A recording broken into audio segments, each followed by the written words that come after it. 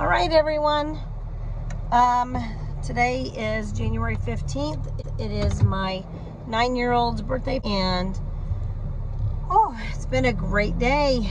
Um, and I got to see all three of my boys and my nephew and my brother and his wife and mom and dad. We went to church and I wanted to um, talk a little bit about the service today. As I'm driving home here, I thought I would just um, kind of put in little snip clips of the church service and what I was reading out of my Bible. But it pretty much was about love never fails.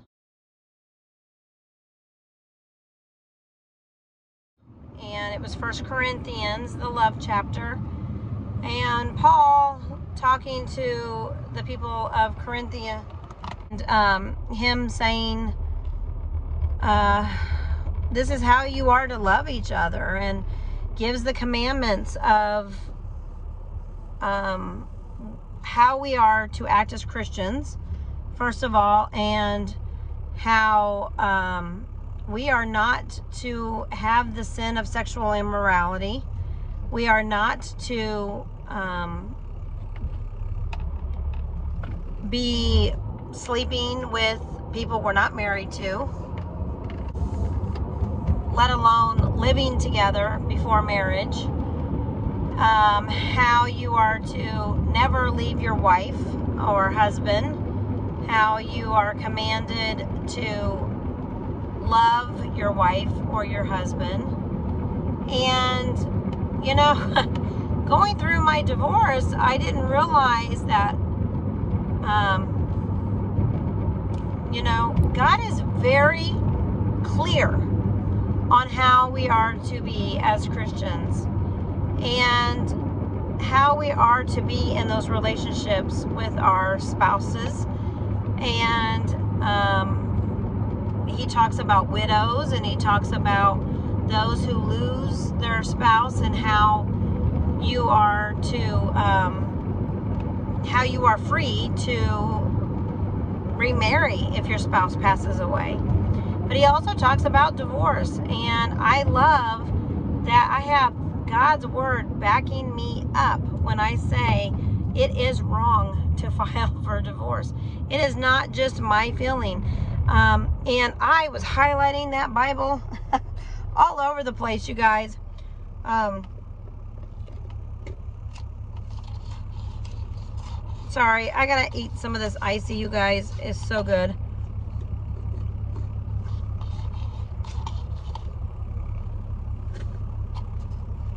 took my son to Sky Zone today. After church, we went to Chinatown. Then we went to Sky Zone. And I just dropped off all the kids. And um, that icy, whew, it was hot up in there. Anyways, I will show you some clips of uh, the day also at the end of this video. But, um, you guys, it just really just touched my heart as I was reading God's Word. Um, kind of reading a couple chapters ahead of the pastor, but he's talking about how, um, you know, divorce is so wrong. And he's having a hot flash. I'm eating the icy, got the window down, heater on. I'm, I don't know if I'm hot or cold.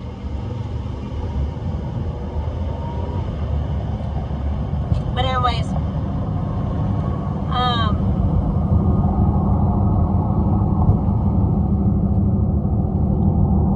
it's very clear, is what I was trying to say, in God's Word, how we are to be um, as Christians and how um, it's wrong to have man with man. It specifically says um, woman with woman. It is very wrong. Back then, when he was speaking to the, the people, Paul was saying, these are not my words. These are the words of Jesus. And you all are sinning. You all are having all the sexual immorality, and it is wrong. And God says, those who are, um, those who are not following God's word and living that Christ-filled life are not going to enter the kingdom of heaven. It's very, very clear. Um, and a lot of people will want to argue with me about that. But God says on Judgment Day, He is going to tell people that I never knew you. And they're going to be claiming, but God, I did this. I went to church, and God, I did this, and I did that.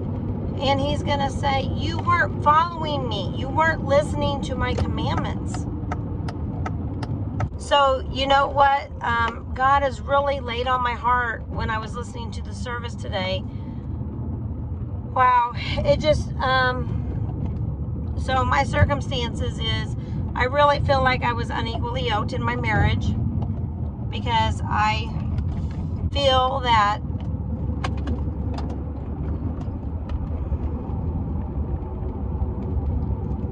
the sexual immorality my husband was having the um, having his girlfriend moving in right now um, into his house and living with him and him divorcing his wife and um, just not following is just not following God's word and so by his actions it even proves to me that we were unequally yoked and he claimed to know Christ. He claimed to be a Christian.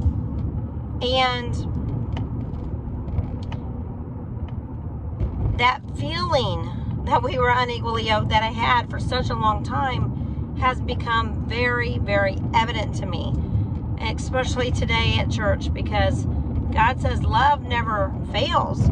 There's a commandment in the Bible that says if you are married, you are to never leave your wife. Never. If you are a Christian. And I just couldn't believe it. But whatever it was, the word was very clear that it is wrong to leave your spouse. It is wrong to file a divorce. And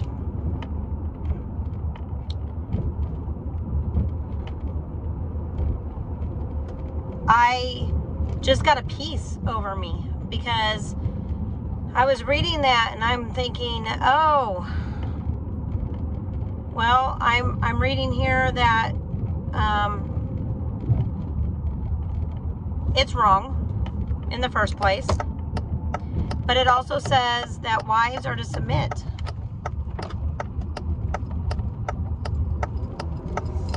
They are to follow their husbands. And it just reminded me of when I was going through my separation. My husband said he wanted a divorce, and I wrote him a letter, and I said, I said, well, if you are wanting this, I don't understand what's going on with you. I don't know what's happened to you. Um, I don't know what's happened to your faith in God because my husband would teach this to my my 20 year old. He would say, "Oh, you don't ever do this and this is how you're supposed to treat a woman and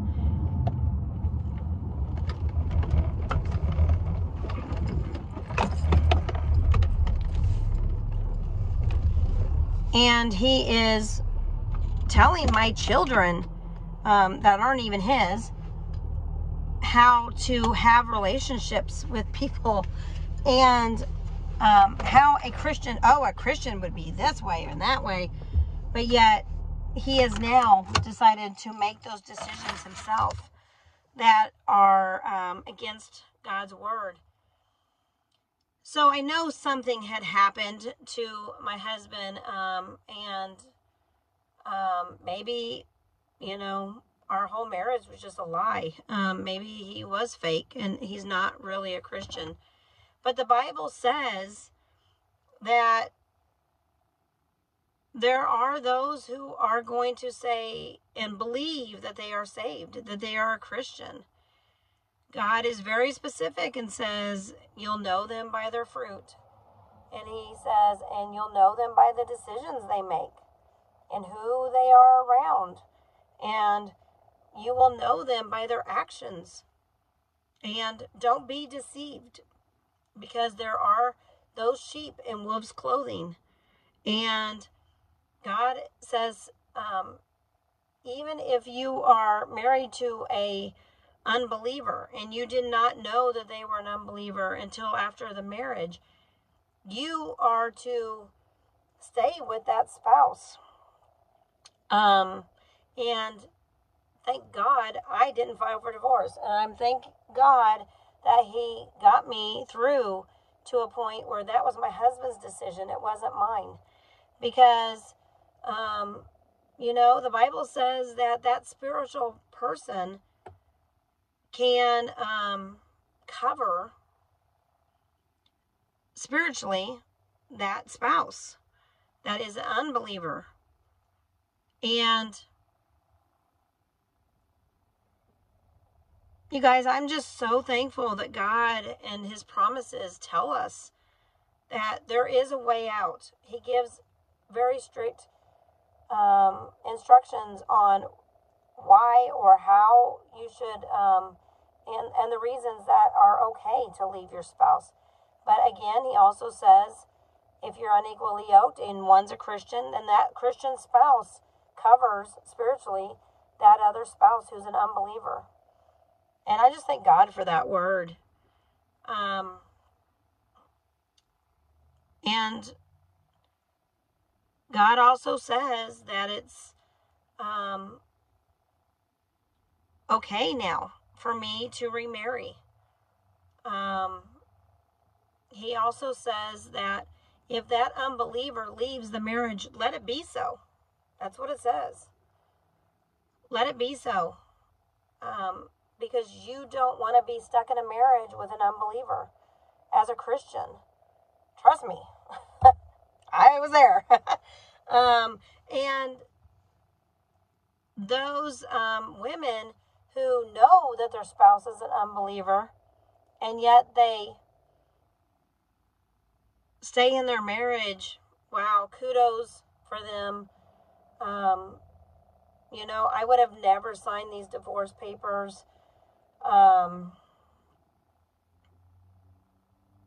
on my own. I would never would have filed. I would have never ever left my husband. Um, I would have stayed in an unhappy marriage forever. And God is really um, saying that that spouse, that's the unbeliever, if they walk away, let them go. And that's what the pa- pastor told me in counseling. He said, um, You need to let him go. Let him go. And so I did. You know, that's why I okayed the divorce. That's why, I mean, I couldn't stop it anyways. It's what he wanted. Even if I think it's wrong, um, my husband needs to make his own decisions on his life. If he wants to have his girlfriend move in with him, that's fine. That's between him and God. If he even wants to um, have lots of girlfriends um, or sexual immorality in his life, that's between him and God. I'm out now. And the more I think about it, the more I am so thankful for my divorce. It's tough. It's um it's lonely without my husband. I was blindsided. I was lied to. Uh, I was talking to someone today and it's just flat out wrong and it's just flat out um, not showing Christ living in you when you separate your family. And um, today, looking at my child so happy playing with his cousin and his brothers and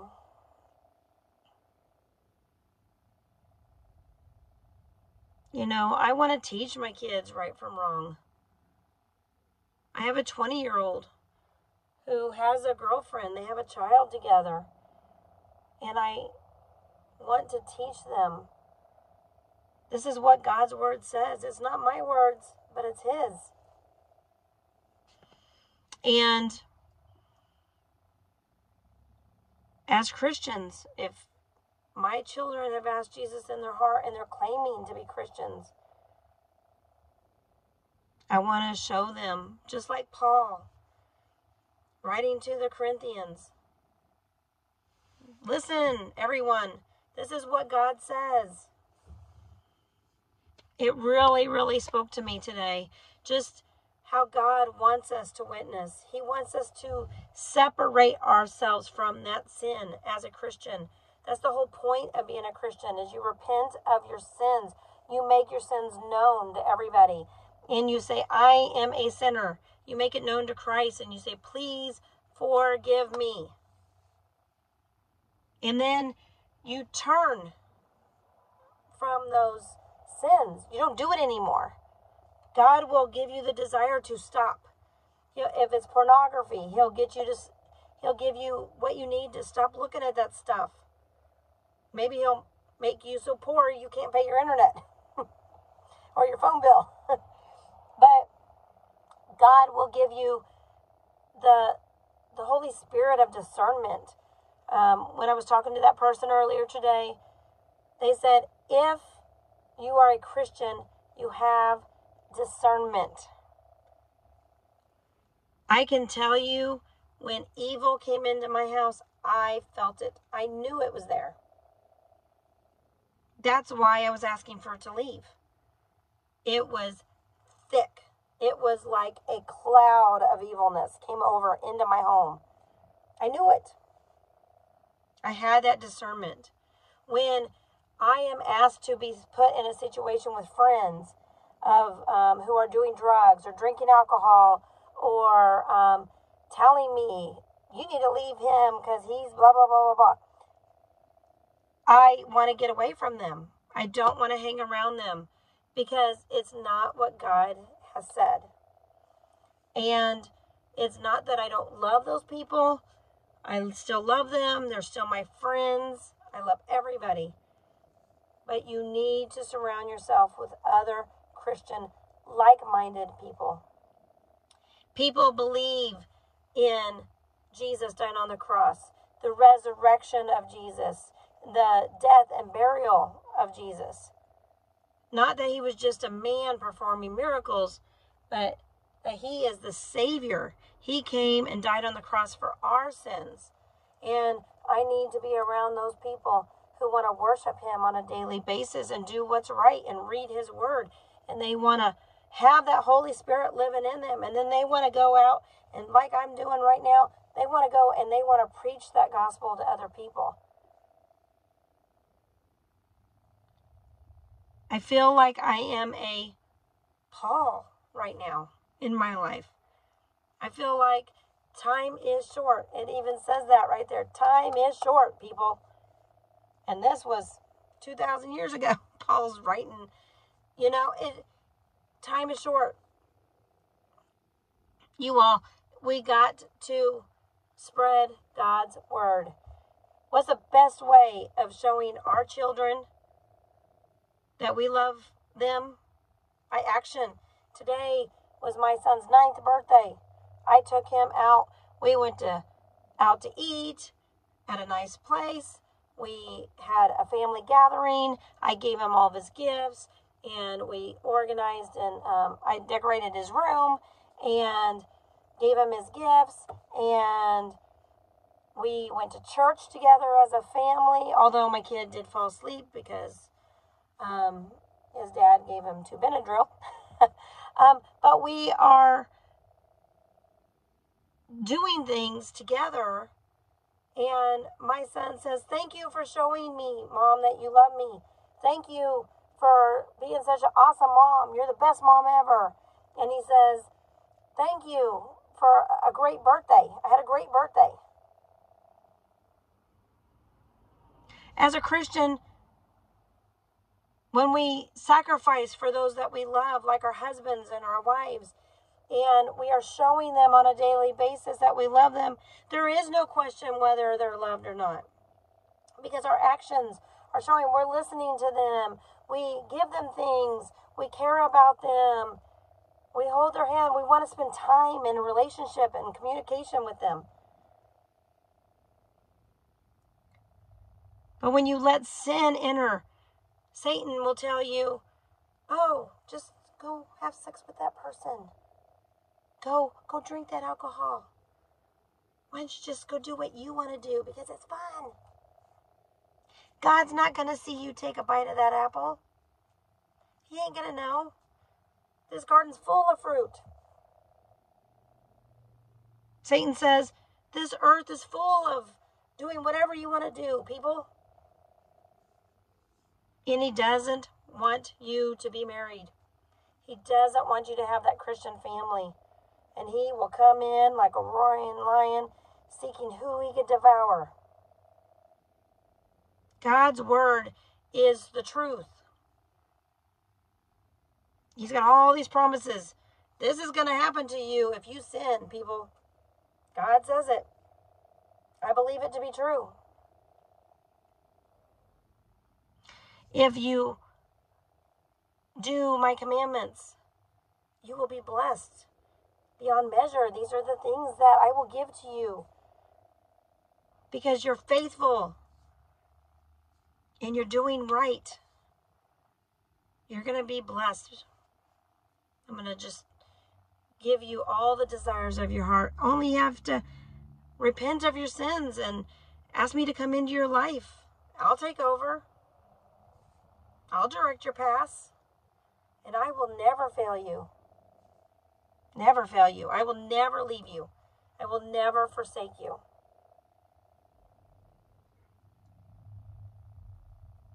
And I love God. I am so in love because He keeps His promises, He keeps His vows to me.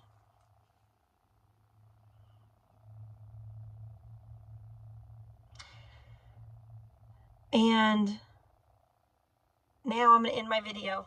I'm going to show you little snip clips of today's fun activities that we did. And um, thanks for watching. Till tomorrow. Bye.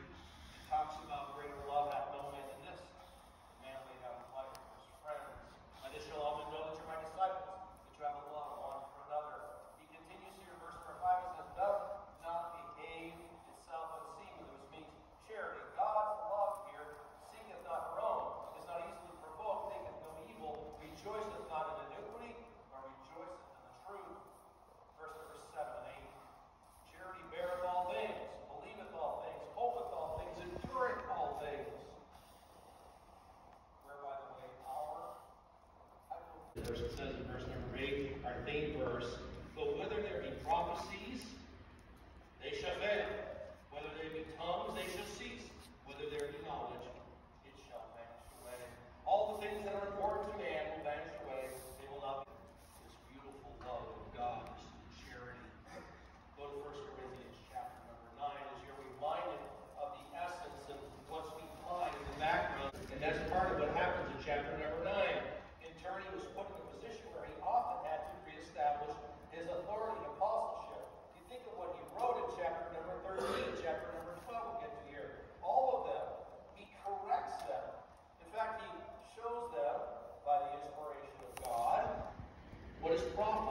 Taking my kids to Sky Zone, bouncing around, having a good time.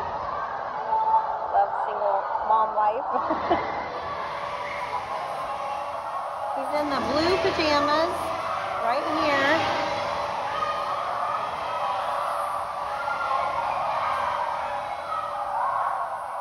He's thinking about it.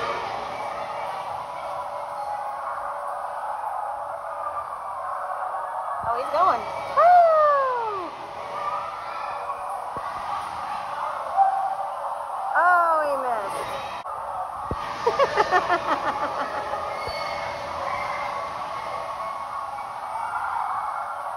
oh.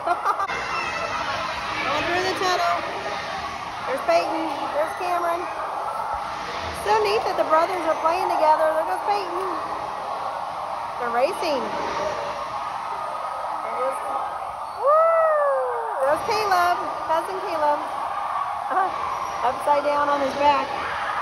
Okay, I think Cameron's going through obstacle course now. There he is. Go, go, go! Keep going! Well, Peyton's caught up with him.